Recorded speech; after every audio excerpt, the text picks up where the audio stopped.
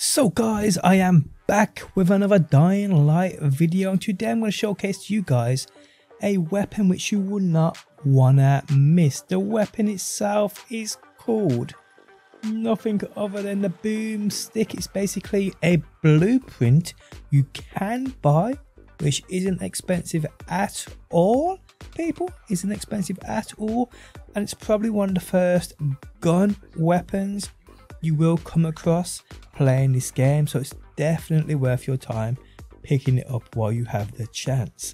How's it going guys? My name is DPJ and if you do enjoy the video leaving a like really helps out and if you like what you see and want to see more be sure to subscribe.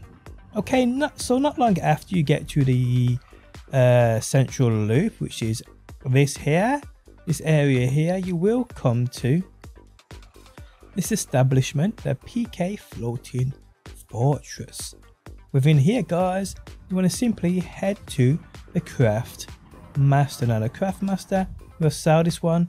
This boomstick, it'll be here, top left. I've already brought it, so she ain't got it. Uh, but it's definitely, definitely worth your time grabbing. This is it here guys. I actually upgraded mine because it starts off with two shots. Uh, but you can upgrade it to make it way more powerful, do more damage. My next upgrade it will be muzzled now, but you don't have to do this straight away. You can still use it because what it does is it assigns itself to the left of your D-pad if you're playing on console. That's PC. I'm not sure. I use a controller on my PC. I'm a scrub. Yes, I know. You can you can you can say it, you can say it. But the weapon itself is super super powerful, and you'll see gameplay of my upgraded version so far on screen now. Now to actually craft this thing, within your um, crafting skill menu, it takes 100 scraps.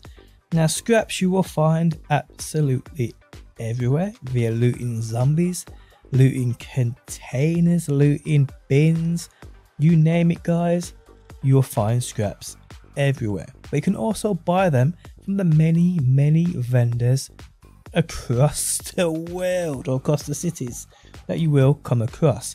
And a little trick I used, um, I come across a vendor who was selling 36. So I bought all 36. It literally cost one code or one coin each. And then I just quit out the game and loaded back in. And she had another load there for me. Now it isn't 100% guaranteed every time you do quit out and come back in. But there's a chance that a loot can restock. And you'll get the, get the, the scrap easy that way. If that's what you want to do. Or you could just sit on this blueprint um, until you just find and farm the scraps. That's completely up to you. That's how you want to play it. But it is definitely worth it because it's just an extra weapon for, well, for your arsenal really, to be honest. And it gets a little challenging from here on end. And like I said, it's the first gun I've come across so far in the game. Yes, I got an arrow, which I ain't too keen on. Um, I haven't got the crossbow yet, which I know you get via assigning multiple different parts of the city to the peacekeepers. But that's going to take quite a while and I know a lot of people are already at that stage but I ain't. I'm the kind of player that likes to run around exploring and shit likes messing about and shit and finding stuff. So I ain't anywhere near completing the story yet. So yeah for players like me or just newcomers to the game because the game's basically brand new and you want to get yourself a weapon you want to get that extra arsenal come to this craft master right here and do yourself a favor and buy this boom. This just it's just it just makes sense. And if you're a blueprint collector like me you may as well get it while you can guys. But yes just thought i'd drop this video making sure you guys don't miss this. I mean it's easily missed.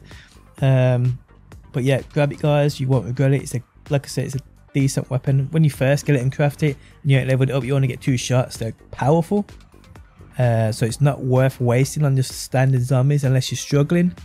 But in those moments or when you are struggling, pull out the boomstick people and take people's heads off. That's what you gotta do. So yes guys, short but sweet one today. Hope you enjoyed the video. If you did, leaving a like really helps out. If you want to see more Dying Light on my behalf, be sure to subscribe and hopefully guys, I will see you on that next one.